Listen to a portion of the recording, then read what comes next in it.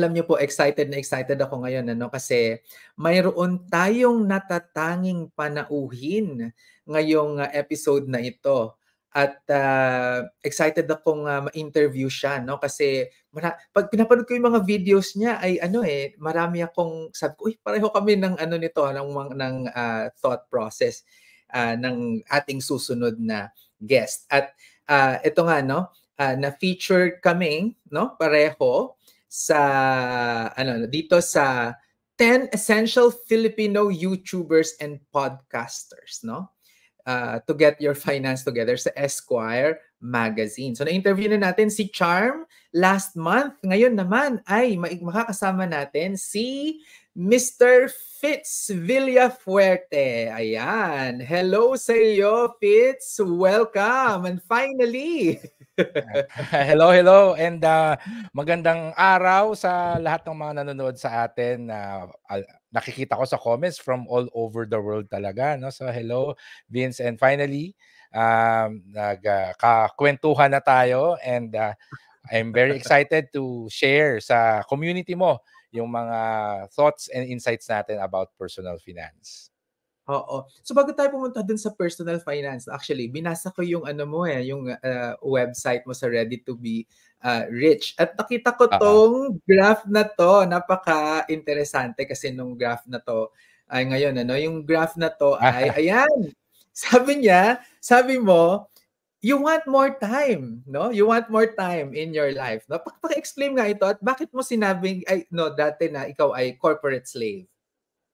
Oo, uh, ano ko eh, civil engineer by education. Mm-hmm. So, first few years of my life, I worked as a civil engineer in the mm-hmm. in an office.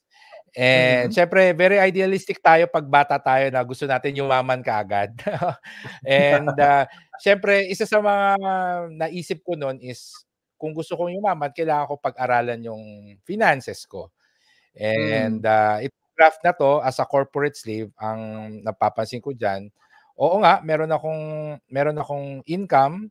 Ang challenge, syempre, ang unang-unang challenge talaga is dapat mas mababa yung expenses natin. Pero yung oras kasi, yun yung mm. nakikita ko dahil syempre pag nag-oopisina ka, whole day kang nasa office. And mm. kapag uh, kulang yung trabaho mo, yung oras ng trabaho mo, syempre may kaltas din sa sweldo yon. And sabi ko, mm. this is where I am right now.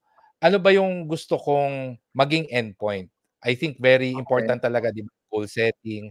Kasi kapag uh, alam natin kung ano yung goal natin, then doon tayo makakaisip ng strategy kung paano natin ma-achieve yon. So, doon lahat nagsimula yon nung nag uh, uh, dinescribe ko kung ano yung current situation ko. So ganito ako ngayon, yan. So nakita ko doon mm. gaano ka katagal na ano no na quote unquote naging corporate slave?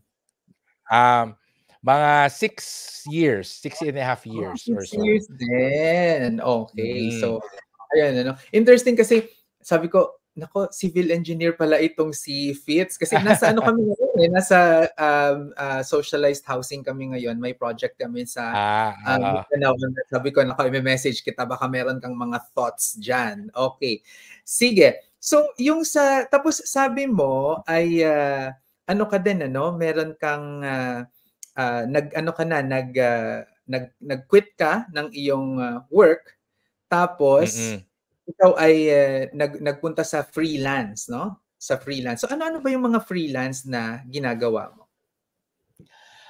During that time, ang naisip ko kasi is uh, based dun sa unang graph, no? Gusto ko itaas yung income ko, pero syempre limited yung income natin from our work, 'di ba? Hindi naman tayo buwan-buwan nag nabibigyan ng increase, no? So sabi ko, the other way that I can increase my income is doing freelancing. And syempre mm. during that time hindi naman na, hindi naman tayo pwedeng mag-resign kagad. So mm. I did mm-hmm. freelancing and ang advice kasi sa akin noon uh, do something that you are already passionate about or interested in mm. or meron ka na ring core competency.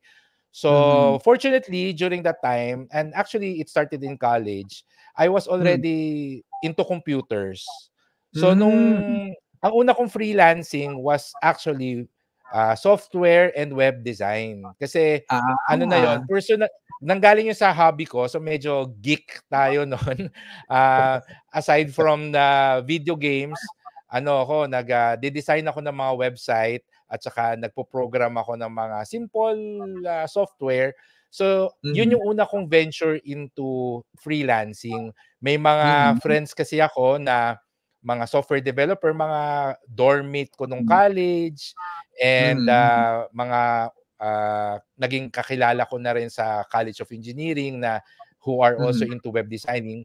During this time kasi, ano pa lang pasikat pa lang yung yung mga personal websites kasi during the time yeah. internet talaga uh, mga search engines lang Yahoo, 'di ba? Hindi pa nga mm. masyadong sikat ng Google noon eh. So, mm. uh, mga yung mga businesses hindi pa normal na mayroong website yung mga businesses. So doon ako mm. nag-freelancing and fortunately uh, nadagdagan talaga yung cash flow ko. But on that uh, on that note naman napansin ko nawalan ako ng free time kasi yung waking hours ko a portion of it is sa earned income. So yung free time ko usually after work and most of my weekend uh, uh-huh nag-spend ngayon yon sa freelancing ko. So sabi uh-huh. ko, it's a good start, no? Kaya nga jump hmm. starting yung sabi ko kasi simula simula na to. I think this is the uh, a good start and also a good hmm. problem. Parang mm. pag bagong gupit ka, 'di ba, meron talaga stage na parang pangit bago siya gumanda. so so uh-huh. So, Pero, yan yung aking jump starting phase. Oo. Pero curious lang ako dito sa ano. So, uh, nagfe-freelance ka, pero mas malaki pa rin yung earned income mo. So, this means nandito nandun ka pa rin sa corporate work mo with yes, this oo. period. Okay. Oo, so, pinagsasabi pa rin ako. Mm-mm. Yes, oo. Kaya nga, ano, na, na, kinain talaga yung uh, waking hours ko. Kumbaga, mm-hmm. no, na meron pa rin akong 9 to 5 na work. Tapos, after work, doon ako sa freelancing income ko and uh, which also includes holidays and weekends. And uh-huh. uh, para sa akin nga, uh, I think this is a small sacrifice at the start. Siyempre, uh-huh. nagsisimula tayo and hindi naman kasi pwedeng mag-resign lang basta-basta, 'di ba? Dahil uh, yung freelancing hindi ano yan eh, hindi stable yung income mo lalo na kung nagsisimula ka pa lang, wala ka pang client mm-hmm. list, wala ka pang long-term mm-hmm. projects, and mm-hmm. uh, you're still probably uh, upskilling, di ba? Yung uh, ini-improve mo pa yung skills mo. So, sabi ko, the, the safe way is to continue working in the corporate world. However, mm-hmm.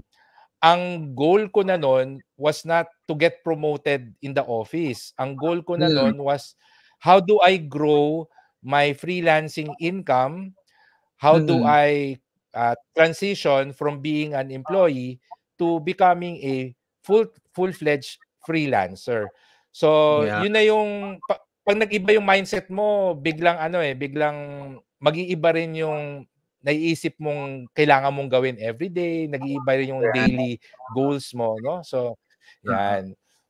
Okay. Tapos dito, ayan na. Ito na yung uh, ito na ba yung ano mo, yung iyong uh, current situation. So nawala na yung ano, the corporate uh, being slave, no, yung sa earned income. Mm-hmm. So meron na tayong passive income, pero mas malaki pa rin talaga yung freelance income natin. Oh, actually, uh, I started my blog and I narrated or I shared this story back in 2007 no? So no, during that ah. time this was uh, where I am and paano ko na-achieve yung passive income? Kasi yung it all started also with freelancing dahil na realize ko I am able to I was able to get a long-term project tapos yung contract ng project uh, equal na rin siya sa almost one year's worth of my salary. So sabi ko, this is a sign that I can actually quit my job. Mm-hmm. And if I was able to land that type of project during my free time, what more kung full-time akong mm-hmm. freelancer? So yeah. nag-resign ako and mm-hmm. Siyempre, pagka-resign ko, biglang dumami yung free time ko. Sabi ko ngayon, and a friend actually suggested na wag akong ma maging complacent. Yes, I can Mhm. be a full-time freelancer, but how does being an entrepreneur sound like? So sabi ko, Mhm. oo nga 'no, kasi papagurin ko rin lang rin yung papagurin ko rin lang yung sarili ko 'pag naging full-time freelancer ako all the time. So Hmm. I started, uh, thinking, how do I convert this freelancing career into a business? So during that Mhm. time, I was, uh, focused more on getting projects and then I reached out to other freelancers tapos parang Mhm. dine-delegate ko or ina-outsource ko sa mga freelancers yung mga iba kong projects. So in Mhm. a in a way naging passive income siya kasi yung mga partners ko na mga freelancers, sila na yung nag-aasikaso ng mga projects na na-close ko and I Uh-huh. just get commission. Uh, aside from that, since medyo nakaipon din tayo, 'di ba 'pag nag-stop tayo mag-work sa office biglang bababa yung expenses natin dahil hindi na tayo kumakain sa labas, wala na tayong damit, transportation. Na yung naipon ko, that's when I also explored mga small business, micro and small businesses. So, Mhm. ah, nagtayo ako ng, ah, Xeroxan yung yung term ko no'n, photocopying center. Ah, Oo. naki naki nag-rent ako ng 2 by 2 meters sa isang tindahan na malapit sa school. So meron akong Xeroxan do'n. Ta's meron din akong loadan, 'no. During that time napakalakas pa talaga ng mga cellphone Yeah. load. Oo. Yan, tapos yung nanay ko, ah, ginawa kong business partner na nagtitinda kami ng mga longganisa, tocino sa bahay, yan. So dun ako nag-explore nung entrepreneurship and yung napakaliit na passive income dun, that was the time na, ah, sinimulan ko yung blog ko and a major part of my income is still freelancing. However, through the years yeah, however, through the years, yung passive income ko, ah, siyempre tumaas na siya and Mm. right now, I still do freelancing but it's not really for the income anymore because, ah, it's because I love, ah, doing I I still love working Uh-huh. and pagdating sa personal finance, yung pagiging content creator natin and all, it's more of an advocacy already. Kasi nakita Right. ko kung paano, ah, natu paano ako natulungan ng personal finance to improve my life. And I always share kapag may speaking engagement ako, I can consider myself as, ah, semi-retired, meaning Hmm. yung passive income ko, enough na siya to sustain my essential, 'no. Ah, puwede Uh-huh. akong hindi magtrabaho, ah, for a year, buhay ako. But of Ayan. course, hindi naman masaya kung kung basic necessities lang, 'di ba? Hindi naman masaya Oo, kung oo. nakakakain ka lang ng 3 beses ang araw and I think that's also exciting na, Oo. ay gusto kong ano, gusto kong mag, ah, ah, out of the country, gusto kong mag 1 month vacation sa Japan. So, that's Hmm. something na puwede kong pagtrabahuhan through my freelancing career or, ah, by, ah, growing a few of my businesses.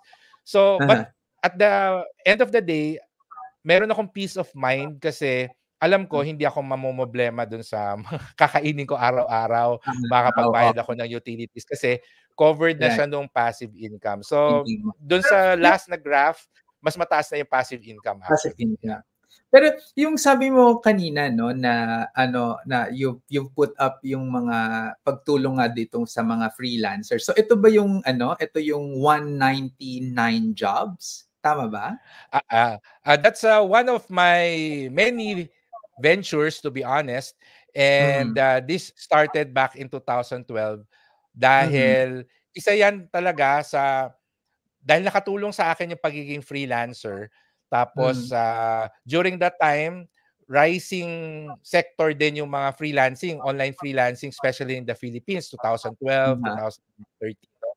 So sabi ko, um, paano ko sila matutulungan?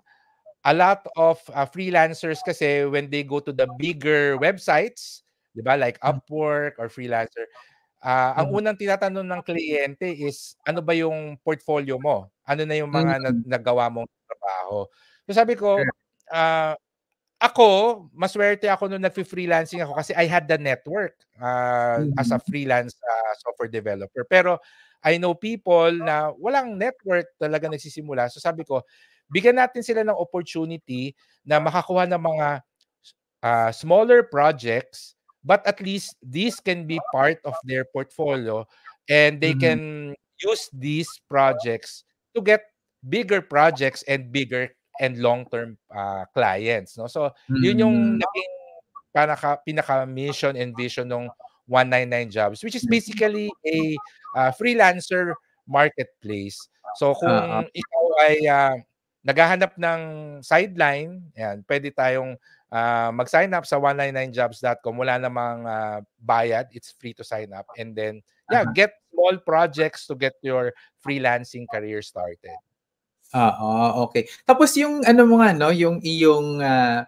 ah, website ba ay ito, ah, fitzvillafuerte.com. Tapos ang blog ay Ready to be Rich. So Yes, very oo. interesting. Ano bang ibig sabihin ng pagiging mayaman sa'yo, Fitz? Oo. Para sa akin talaga ang pagiging mayaman or ang, ah, to be rich, it means you are able to afford your dreams. So it's not mm-hmm. really anchored to a specific amount in your bank account. Ang tanong mm-hmm. lang naman dyan is, ano ba yung gusto mo sa buhay? Ano ba yung mm-hmm. gusto mong gawin in the future? Ano yung mga gusto mong bilhin para sa sarili mo, para sa pamilya mo? And do you have the means to afford those? If you have uh, the capacity to afford those, then I can say that you are uh, rich. You are truly mm. wealthy. And nung ginagawa ko yung blog ko, yan, uh, kaya ko sinabing ready to be rich kasi during that point in my life, nandun na ako eh na parang okay na yung setup ko. It's just mm-hmm. a matter of growing what I already have. So I was not mm-hmm. rich yet, but mm-hmm. I am in that mindset na okay, ano na, I already know my path. It's just a matter of walking down that path so I am ready to be rich. Kaya yun yung parang pinanggalingan nung nung title no nung nung blog ko which is basically naging branding ko na rin because it, uh-huh. it stuck sa mga followers uh-huh. ko but yeah Mm. Oo. So, we're guessing, syempre, rich ka na ngayon, di ba? So, yung ano natin, yung uh, uh, pagiging mayaman, of course, ang pinaka, ano kasi, di ba, a measure na ginagamit ng mga tao talaga ay pera. Pero meron mm-hmm. kasing tinatawag na golden handcuffs eh, di ba? Ang taas-taas nga ng sweldo mo, pero nakakulong ka, meron kang posas nung golden handcuffs nga tawag ko dyan. Kasi hindi mo naman ma-enjoy kasi grabe yung stress sa trabaho, ga- grabe yung demand sa work, alas 4 ng umaga, tinatawagan ka, never ending ang mga calls and meetings. So, in this regard, uh, ano ba yung uh, ano pa yung measures ng kayamanan para sa iyo? Oo, uh, para sa akin, ang pinaka-importante talaga is alam mo kung ano yung gusto mo. Uh, having smart goals. Because if you have specific goals in life and uh, you believe that these are the things that you really want for yourself or your family, hindi lang kasi iisa ang solution. Uh, I'll give you an example para mas concrete. No? Meron akong na-meet na ang pag tinanong ko, ano bang gusto mong gawin sa buhay? And sabi niya, gusto niya mag-travel kasi para isa sa mga passion niya yon, no? So sabi ko sa kanya, hindi ka nakaka-travel kasi tali ka sa opisina. Malaki mm. nga yung sweldo mo pero ang hirap mag-apply ng leave, etc. Mm-hmm. mm-hmm. So ano yung if you if it were up to you, ano yung ideal setup mo? Mm-hmm. And sabi niya siguro ano uh, ang, ang initially ang niisip niya mag-iipon siya ng maraming pera tapos magre-resign siya and then magta-travel na lang siya for the rest of his life. Sabi ko, uh, yes, that's one solution. Uh-huh. Tama naman 'yon. That's one solution. Pero why don't we think outside the box? What are the other things that you can do? So sabi hmm. niya and naisip niya, siguro pwede ako maging freelancer. Uh, hmm. sabi, anong klaseng freelancer? Kasi ano siya eh, um, uh, nasa engineering field din siya. So sabi ko, hmm. do you think you can do consultancy? Or do you have any other field na sa tingin mo interested ka na pwede mong pag-aralan, etc. Mhm. And yun yung nag-switch sa ano niya, sa utak niya na, oo nga no, why don't I become a freelancer Mhm. um, so that I can work anywhere and I can fulfill yung dreams ko na mag-travel. So yun Hmm. yung ginawa niya uh, after it, it was not instant. It was parang Uh-huh. it took him four or five years na Uh-huh. in-establish niya nga yung sarili niya. And then, grabe, nag-email na lang siya sa akin. ah, sabi niya, three months na daw siya sa Vietnam kasi Ah, na-inlove siya doon sa uh, inistayan niya. Tapos, ah, nag two months daw siya sa Dubai, etc. So, Uh-huh. he's now traveling and uh, he's working as a freelancer. Totoo, Mhm. hindi ganun kasing taas yung sweldo niya, but it is enough to Mhm. fund yung mga goals and dreams niya. So, para sa akin Mm. talaga, yun yung definition ng wealth eh. Ah, it's Mm. really up to you. Depende Mm. kasi kung ano yung gusto mo. Mhm. And ang kailangan lang na careful tayo dito is minsan akala natin gusto natin to kasi yun yung nakikita natin sa iba. So Mhm. there's a there should be a healthy amount of self-awareness and uh, may reflection, getting to know Mm. ourselves kasi doon natin malalaman and ma-discover ano ba talaga yung nagbibigay sa atin ng self-fulfillment. Ang pinaka ano, pinaka maganda example dito, ah, related na rin siguro sa pagiging civil engineer ko kasi ako uh, I don't actually have any plans of buying my own home. No? I have real estate investments kasi mga rental properties pero yung buying a house and lot na titirhan ko parang wala Aha. sa goal ko siya. Although Aha. lahat ng kaibigan ko, lahat ng barkada ko may mga sariling bahay, mga kapatid ko may mga Mhm. sariling bahay. So bakit hindi ako bumibili? Kasi sa tingin ko, it's not really something that will give me self-fulfillment.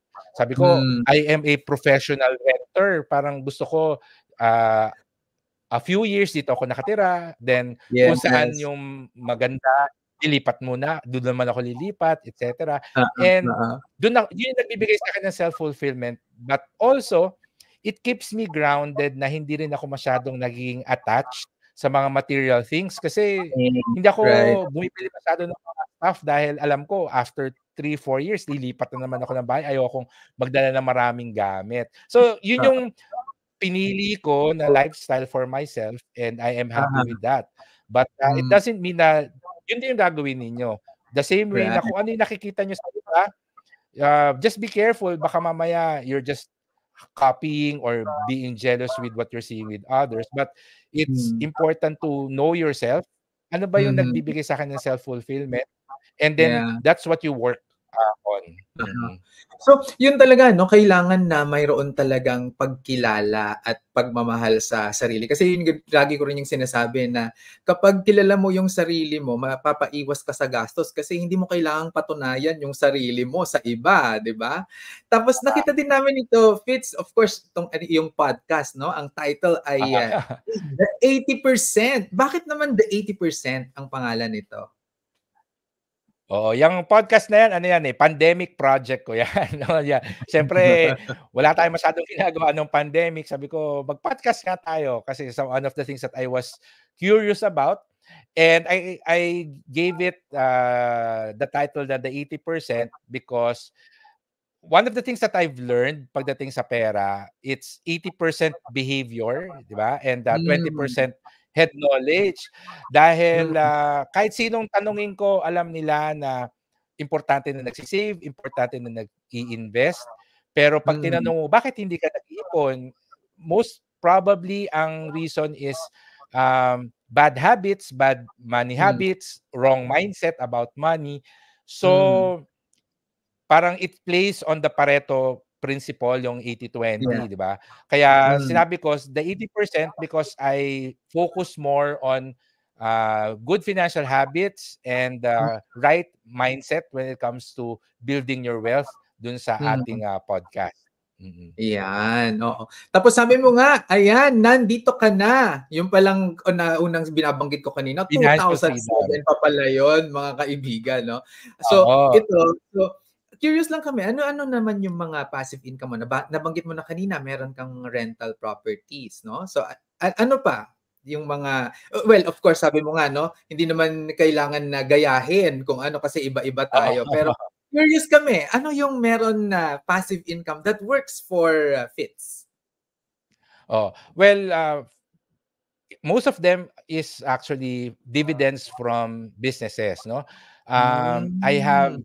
Several uh, businesses. Siguro ang ang pinaka uh, malaki is yung sa pinsan ko. Yung pinsan ko kasi nagtayo siya ng company but Mm. uh, at the start kailangan niya ng funding so parang naging ano tayo uh, venture capitalist Aha. and uh, it grew. I have no direct uh, ano responsibility Involvement, sa yeah. operations. So, yes, but uh, I get regular dividends from that. Uh, Aside from that, of course, meron tayong mga paper assets. So, Mhm. may mga dividend stocks tayo and uh, very popular ngayon yung REITs, di ba? So, mas uh, maraming ano doon, mas mas regular Mhm. and uh, Pag-ibig MP2, of course. No? So, may Yeah. mga paper assets tayo na nagbibigay ng fixed income or uh, regular dividends.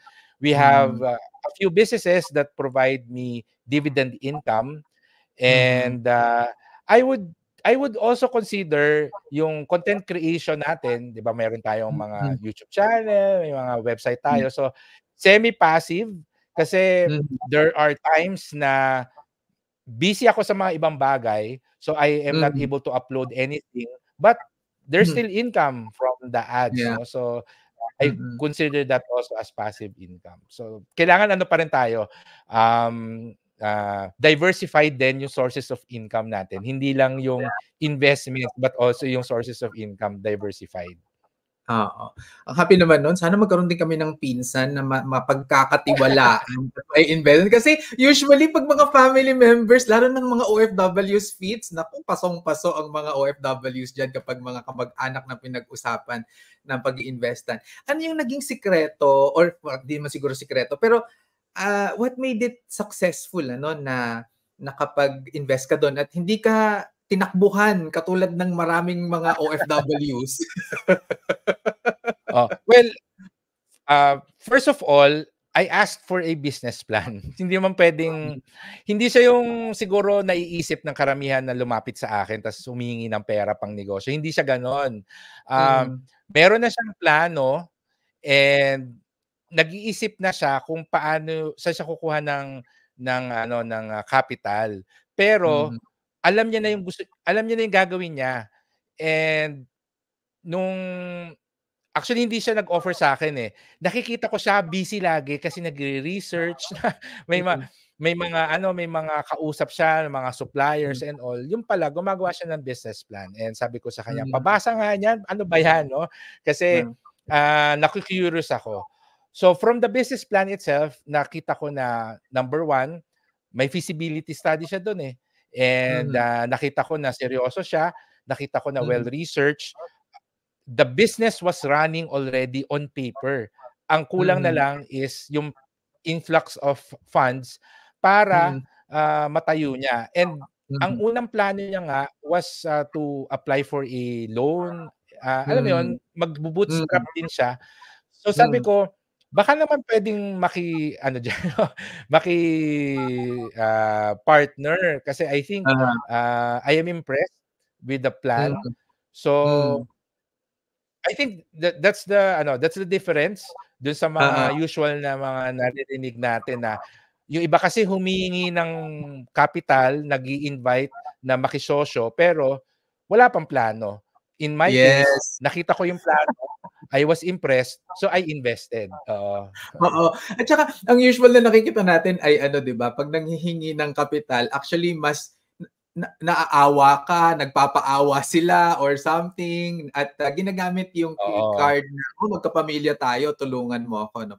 Pero in your case, ang nakita mo talaga ay nandyan yung uh, business ano niya no yung uh, pagiging worthwhile niya as a business. Anyway, nako napasarap na tayo ng kwento. Papunta pa lang tayo sa main topic natin which is insurance ano. Meron akong ginawang ano eh, nagpa-poll ako dito sa sa YouTube natin. At uh, tinanong ko, no, may variable universal life insurance ba kayo? Ayan, at ito yung sumagot na 779 votes. Yes, luging-lugi, 27%. yes, gusto ko nang itigil. Paano ba? 12%. Yes, bongga ang kita, 5%. Uh, no, BTID ang akin, 15%. And ano yan? 40%. Ayan. Ano mo masasabi mo sa resulta ng ating uh, pa, pa-poll? uh, may mga may mga lumalapit rin kasi sa akin na ano na nagpapa-consult about their insurance, nagpapa-insurance audit, no? And mm. uh, yun talaga yung napapansin ko, a lot of people na may VUL, iniisip nila investment siya.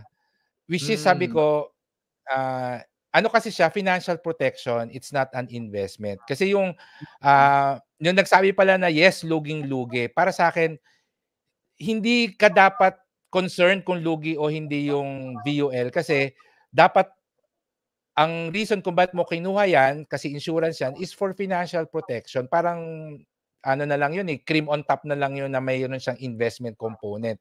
So, uh-huh. that's when I discovered that unfortunately, uh, there hmm. are a number of financial advisors na minamarket nila ang VUL as an investment and not as a form of financial protection. So, yun lang hmm. yung initial talaga na nakikita naka, naisip ko dun sa ginawa mong poll no. But uh, mm. also para sa akin concerning din yung nagsabi na ano 'yan which means mababa pa rin talaga yung insurance sa penetration rate natin eh. Something uh-huh.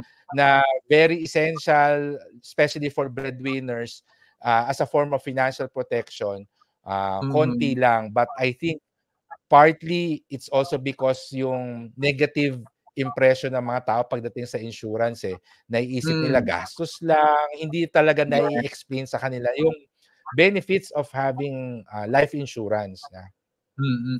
Actually kasi uh, ano eh nag naghahanap talaga ako ng kakampi tungkol dito sa VUL na yan sa BTID. Ano nakita ko yung video mo, oy, gusto ko siyang kausapin, 'di ba? At uh, ito nga, meron tayong tinatawag kasi na ano 'di ba, sa instead na VUL, kung insurance talaga yung titignan natin, meron yung buy term invest the difference. So at nakita ko nga na ikaw din mas ginagawa mo itong BTID. So paano ba itong BTID uh, fits? Uh, well, of course, ang una kong tinatanong is, meron ka bang financial dependence? So, meron bang umaasa mm-hmm. sa'yo? Because uh, insurance really is a form of financial protection. Uh, mm-hmm. Hindi para sa'yo, but para sa mga nakadepende sa'yo. And kung ikaw ay single na lahat ng sweldo mo sa'yo pupunta, wala kang pinapaaral, wala kang pinapakain, uh, I would dare say that uh, hindi mo pa kailangan ng insurance. Di ba? Oh. Appear. Ah, Pareho uh, tayo ng sinasabi dyan. sabi ko, balikan mo yung insurance kapag uh, feeling mo uh, malapit ka na ikasal. Alam mo yun, one, uh, once you get engaged, uh, I would say that's a consideration na to get insurance kasi magkakaroon ka na ng family eh. But uh, if you're a breadwinner, syempre mahirap din eh na lahat ng sweldo mo pupunta sa pagbabayad ng insurance and if you see the different types of insurance, yung term insurance talaga yung pinakamura, no? Mm-hmm. And that's why I tell people na ang primary uh, reason why you're getting insurance is to protect your family in case something happens to you.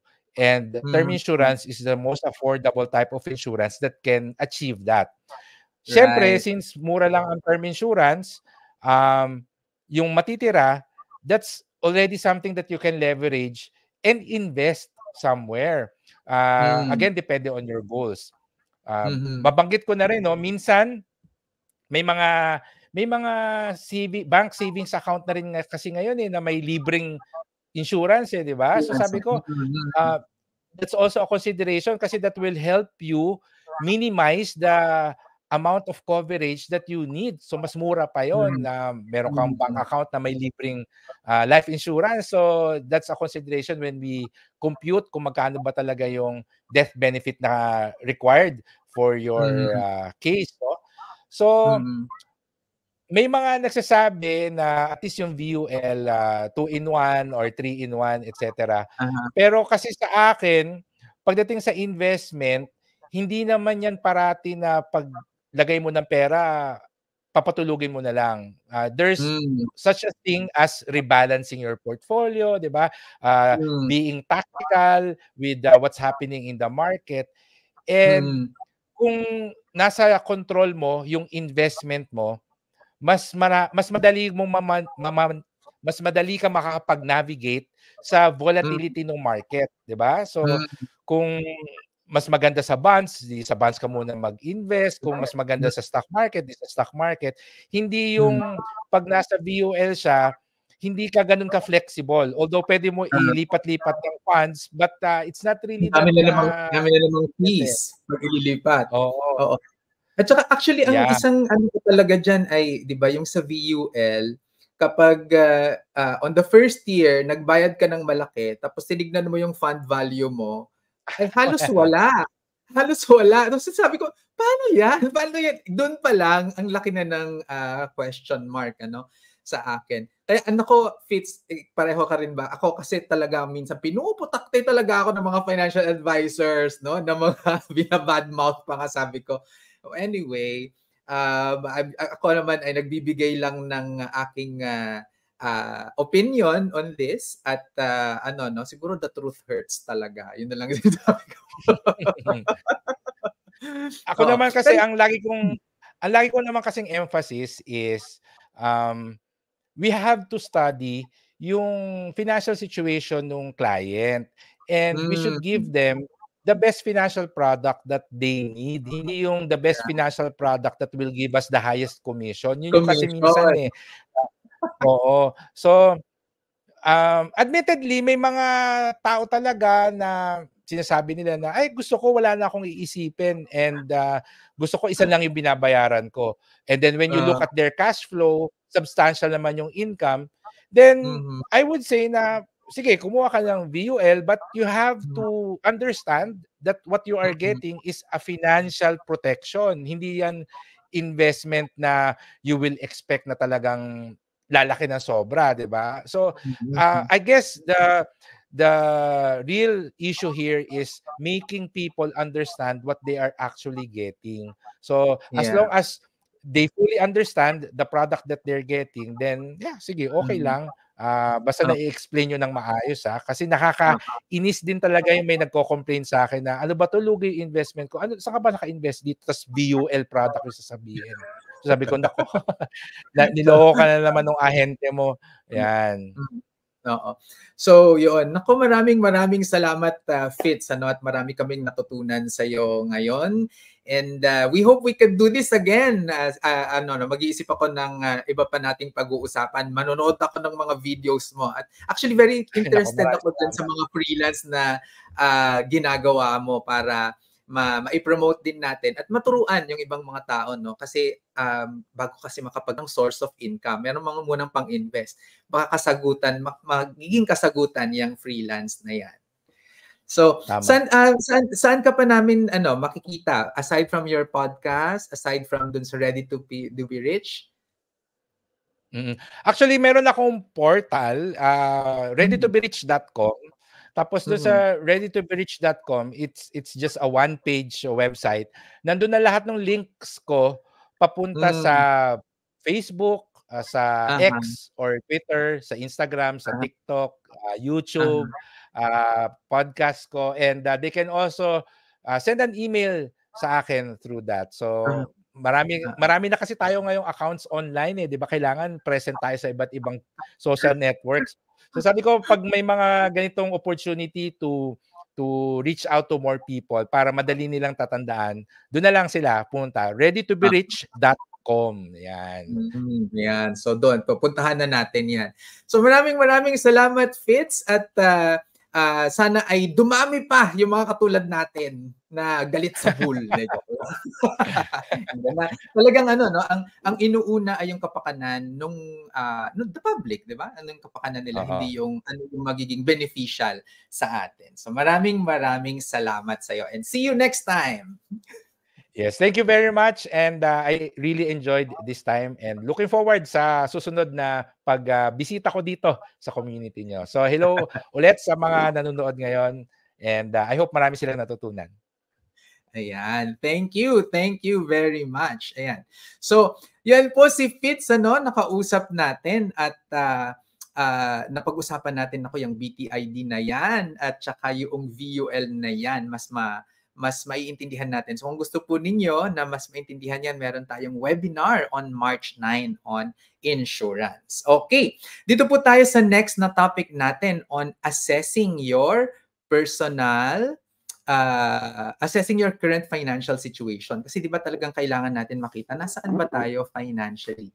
And even if you you think you're already doing okay, ano, maganda pa rin na from time to time ay binabalikan natin itong ano ba yung ating financial uh, status no? Kasi parang itong ano eh annual physical uh, annual physical exam natin.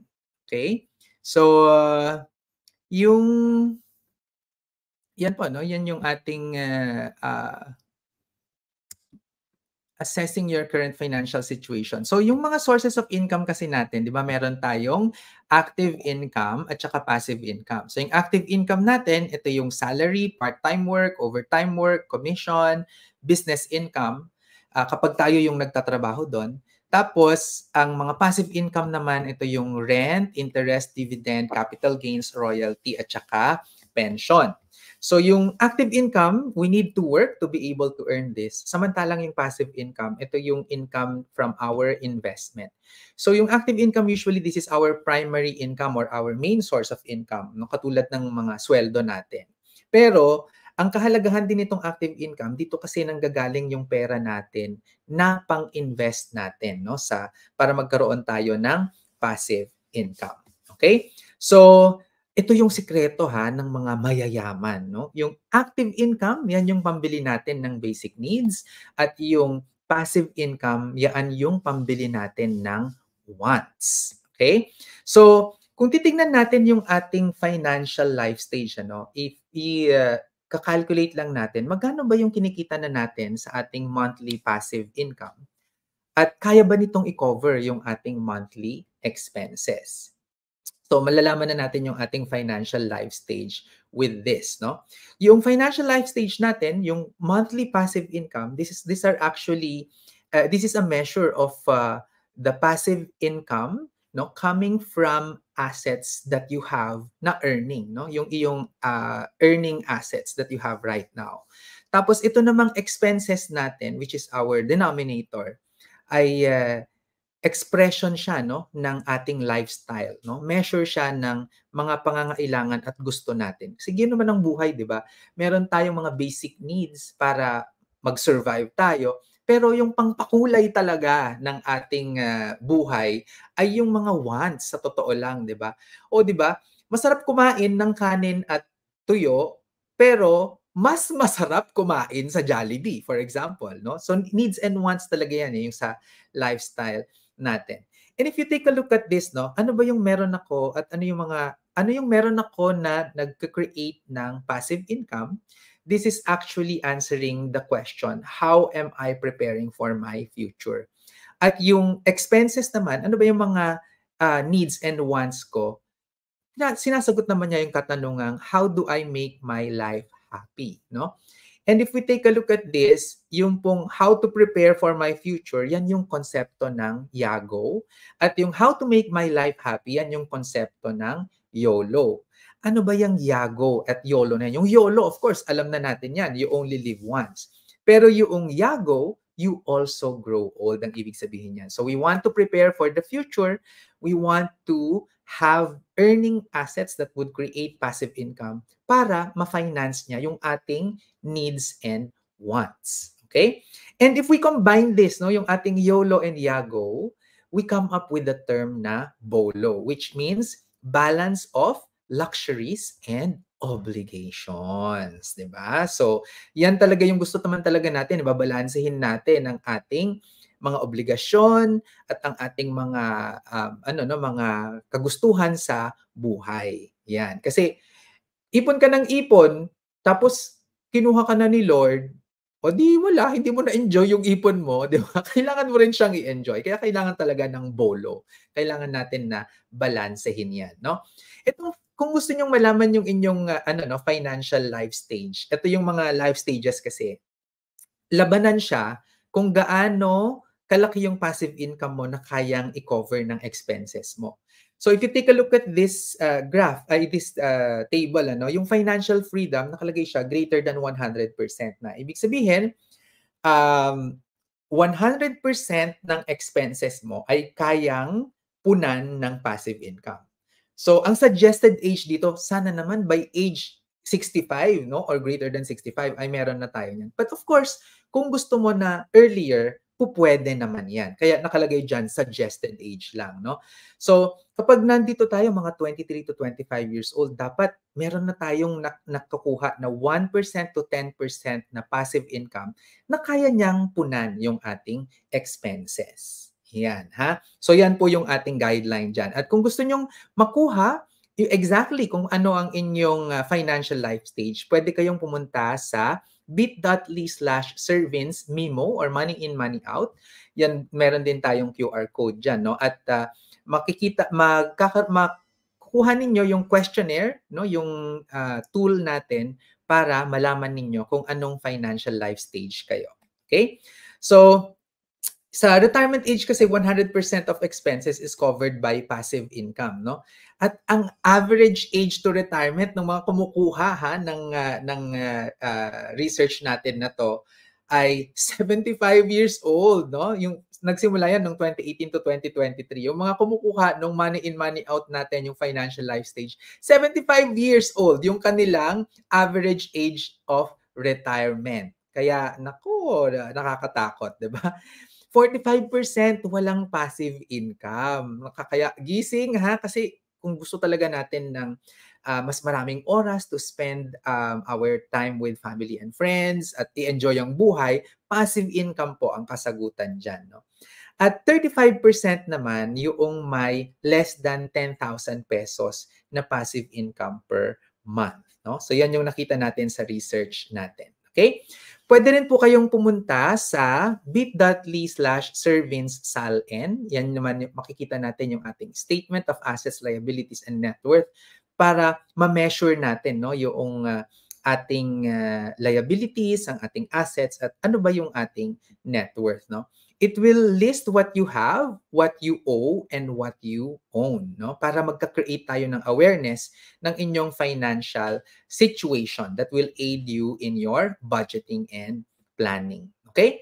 At uh, mayroon din tayong isa pa, no, na tool, yung ating financial health check. So pumunta lang kayo sa bit.ly slash sedpfhc or scan nyo yung QR code na naka-flash ngayon dito at itong financial health check naman, malalaman nyo kung nasaan kayo, no? Whether you are financially sustainable already, financially secure, or financial startup. At doon po sa mga kumuha ng mga financial health check natin, 61% ay nasa startup, 36% yung financially secure, at 3% lamang yung financially sustainable. Nako, kaya puntahan nyo na tong uh, um, website na to, no? Scan nyo na yan para malaman nyo kung kayo ba ay sustainable, secure, or nasa startup stage pa lang financially. Okay? Ako po si Sir Vince, ang inyong financial guru, nagsasabing ang pagyaman na pag-aaralan at napagtutulungan. Okay. At uh, I will now hand you over to our very beautiful and very energetic executive director na si Florence Adviento at uh, i-discuss po niya sa inyo ang isang opportunity to open a joint venture savings account with us no dito sa SEDP Co-op. Okay? Iyan na po. Nakita ko na. Napakaganda. Napaka-sexy. Executive Director ng SEDP Foundation. Si Florence Adviento. To, to, to. Hello, Sir Vince. So, gaya nga ng shinare mo kanina, di ba, meron tayong upcoming na webinar and meron tayong mga free or magkakaroon ng mga free webinars dahil meron tayong pa-contest na ginawa. So, ang mapapanalunan nila is yung webinar natin this Saturday na, yung Learning Together to Leverage Insurance for Financial Freedom. So, yung unang tinanong mo is, nagpa-fill in the blanks ka, no, na, um, ano nga yun, to conserve water, shower, blank, blank, blank. So, yung una nating winner ay si Maha Santos Jacob or Jacob. And ang sagot niya ay to conserve water, shower with your neighbor. O, di ba? So, ayan. Siya yung una nating webinar winner. And yung pangalawa nating webinar winner ay si Bads AP Bendo. Sa kanya naman, ang sabi niya, to conserve water, use the two partners. Hmm. Pero ang two partners, timba and tabo. Ayan, so very witty ang ating mga followers, no? And yung pangatlo nating winner ay si Rosamia Solana Loremia Pauyo. Aba, Ayan. So, shower na bathtub. Like in a bathtub with batsa. Tapos, ang gagamitin mo ay tabo at balde. Tapos, yung malang kolekta dun sa batya will be used uh, and reuse as recycle. So, pwedeng pang linis, pang washing, and flushing the toilet bowl. O, di ba? So, natuto na, na tayo sa kanila at dahil natuto tayo sa kanila, mananalo sila ng ating free na webinar this Saturday. And meron pa tayong pang-apat, nagpahula si Sir Vince kung ano itong mga uh, seafood sa Mindanao. And meron tayo na isa na nakatama ng anim at siya ay si Ruth de la Serna. Ayan. So congratulations sa ating four webinar winners. Um, pumunta lang kayo dun sa ating registration link and ang piliin ninyo ay webinar winner na type para free ang inyong webinar. Ayan. So, today, ang pag-uusapan natin ay Organic Options Inc. and ilo-launch natin yung OOI 5. So, magsimula tayo uh, sa discussion tungkol sa SEDPI Kasosyo, Organic Options Inc., yung ating terms and conditions for the OOI 5, and kung kayo ay interesado, paano ba mag-join dito? Okay, so ang SEDP ay merong three main programs at isa dito ay yung ating kasosyo, which is yung ating uh, socially responsible investments. Ayan. So ang objective ng kasosyo program is first, develop a movement of social investors that puts people and planet above profit. And we also support development organizations and nano enterprises. Okay.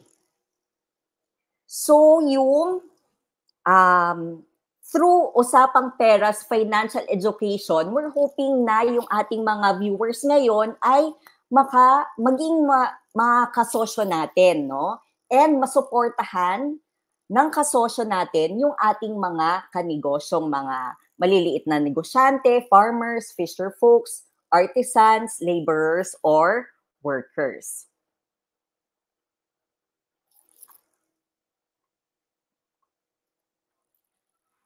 Ayan. So yung ating mga kasosyo ay mag-contribute ng kanilang joint venture savings para magamit na joint venture capital ng ating mga uh, kanegosyo no at mga kasosyo din na gagamitin sa kanilang project yung nakuhang uh, contribution from joint venture savings.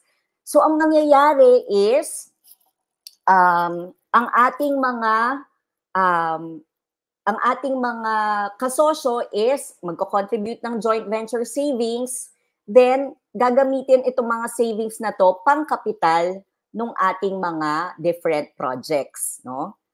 And then, pag nagbayad yung ating mga kanegosyo at iba pang kasosyo, sila ay magbabayad ng service charge and this will be uh, shared between SEDP and ipipay out as dividend sa ating mga kasosyo. Ayan. So, yung ating mga kasosyo ay nagiging member sa SEDP Cooperative and pwede silang mag-ipon at pumili ng mga joint venture savings or yung tinatawag din nating SRI or socially responsible investments. So ano ba ang joint venture savings or SRI? So una ay pumipili ng specific project to support. This could be working capital, share capital, and real estate joint ventures. And then yung pupondohan ng kapital ay mag-undertake ng investment activity or specific project. So ito ay with the intention of sharing profits, no? Between SEDP and yung ating mga kasosyo na members ng SEDP Co-op. Pero hindi lang yung profits yung i-share, nag-share din tayo ng risk and losses. No? So in terms of profits, usually um, joint venture savings earns higher than interest on bank deposits. Pero may possibility ito na magkaroon ng capital loss. Ibig sabihin, wala itong guarantee na 100% ay kikita. Ayan. So, dito sa ating joint venture, isa sa mga project na ating sinusuportahan ay yung Organic Options Inc. So ano ba yung organic options? So ito ay isang social enterprise, so isang negosyo with the heart, no? So it serves as a link between farmers and consumers whose main task is to bring clean, safe, and healthy produce to the consumers. So, ang nangyayari, yung ating mga farmers ay nagbebenta ng kanilang produkto sa organic options. Ang organic options ay i-repackage ito, making sure na maganda yung quality ng ating vegetables. And then, i-deliver and ibebenta sa ating mga supermarkets.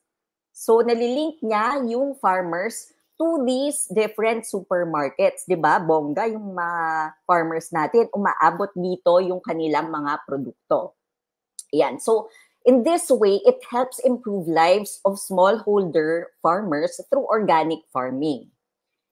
Tapos, na-ensure pa na yung kakainin natin as consumers ay clean, safe, and healthy, no? At readily available din. So, ang organic options or OOI partners with almost 300 smallholder farmers in Luzon. Ayan. So, ayan si Sir Vince. Makikita ninyo sa kanilang um, packing area, nandun yung mga, ating mga gulay. And talagang fresh na fresh yung ating gulay sa OOI.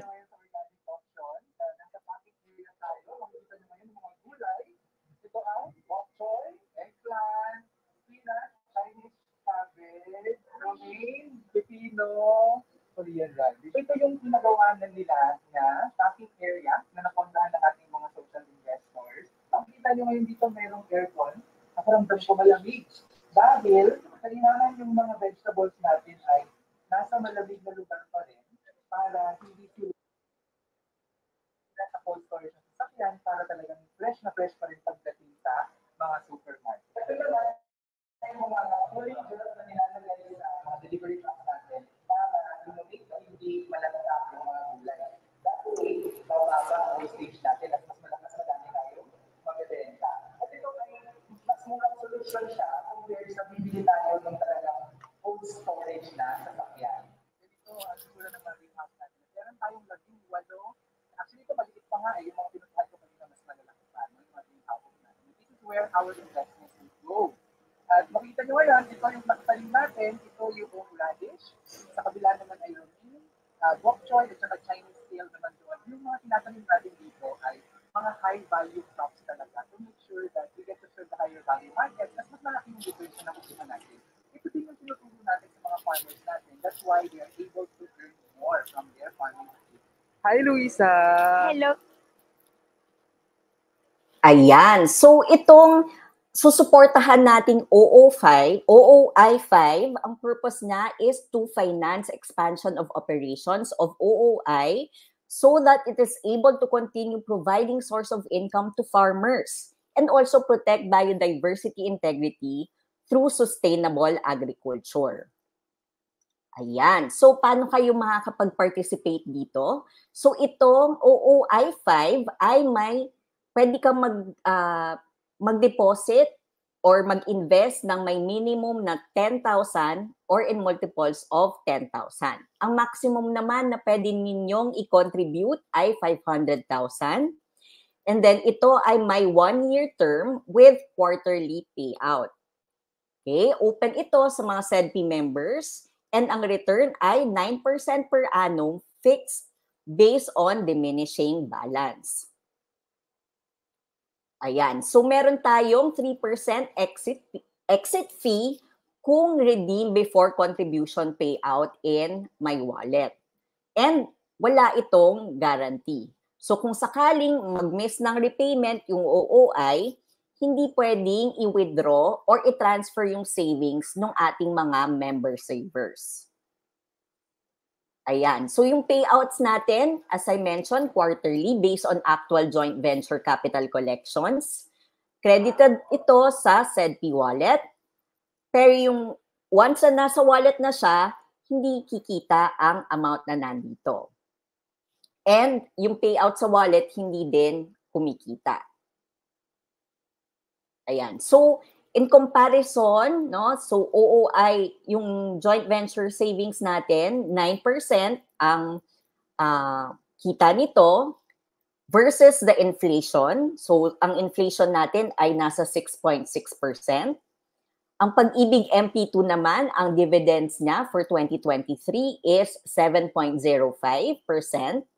Yung RTB30, net of taxes, ay 5%. Yung RDB2 naman ay 5.8% versus ang ating stocks na negative 1.8%. Ayan. So, ang starting period natin na pwedeng mag-invest sa OO5 ay sa March 7. So, tomorrow. Pero habang hinihintay nyo yan, ay pwede nyo nang i-make sure na kayo ay member na ng SEDP. Ayan. So ito ay first come, first serve basis. Pag napuno na yung um, target na uh, amount no na na meron tayo or yung limit natin, isasara na natin yung OOI 5. So paano mag-join sa SEDP Co-op? First is to attend self-paced online P- PMES then pay 100 per uh, 100 pesos membership fee and 1,000 pesos initial share capital. Pagkatapos nito ay mag-open kayo ng SEDPI Kasosyo online or KSO account and inform deposit. Make sure nyo din na updated yung inyong profile para kayo ay makapag-participate sa OOI 5. So be a social investor. Ito po yung ating QR code and link for the PMES. And how to participate in OOI 5. So whether it's fresh deposit or investment, pupunta po kayo sa SEDPI Kasosyo Online and then piliin nyo yung OOI 5. Ayan. So for other joint venture savings options, pwede ninyong bisitahin ang bit.ly slash sedpsris or picturean nyo itong QR code para dalhin kayo mismo doon sa ating website. You can also get in touch with us kung meron kayong katanungan sa aming Facebook page, sa aming email na support at sedp.com, and sa ating landline and cellphone number. Ayan, laging tandaan ang pagyaman na pag-aaralan at na pagtutulungan.